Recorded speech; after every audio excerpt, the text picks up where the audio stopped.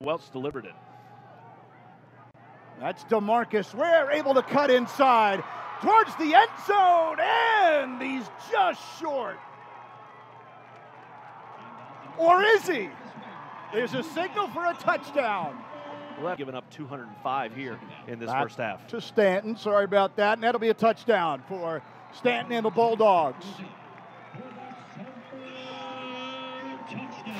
For the kill shot, and right away to the air, Welch.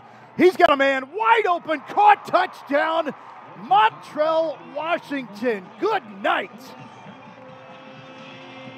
Loose a couple of weeks ago. Back to Stanton, the starting running back, and he just tiptoes in for a touchdown. And Samford with a 30 to nothing lead. Samford doing whatever they want offensively. We Most likely two down territory anyway. They'll try to pass and down goes Frost.